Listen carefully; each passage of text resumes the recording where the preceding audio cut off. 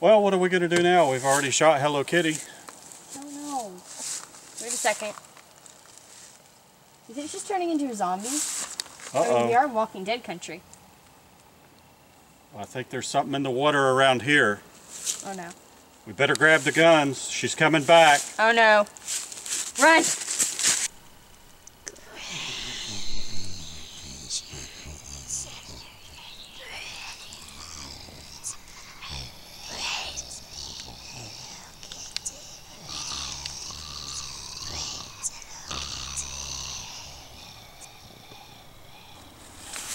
Zombie!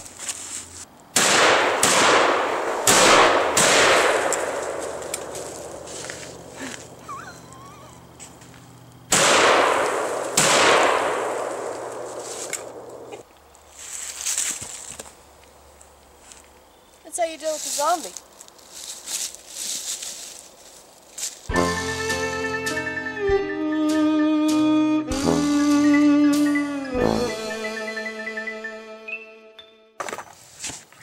I went down and I got the cat. And um, I think she's pretty much destroyed. We're going to have to clean up the range now. I know. You got Hello Kitty brains all over the place. Uh huh. Her brains are still falling out. Um, Something will come along tonight and clean up the watermelon. Yeah. Well, um, we'll probably be doing another video on how I did all this and zombified Hello Kitty.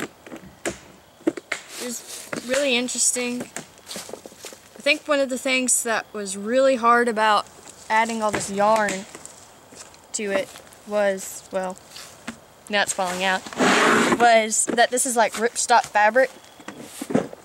So when I tried to get the needle to go through it, it wouldn't go.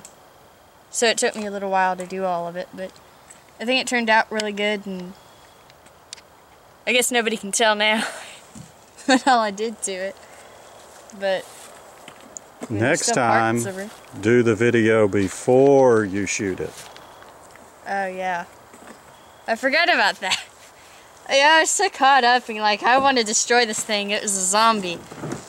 But I got some pictures of it, so we'll probably have to figure out how to get it out on the video.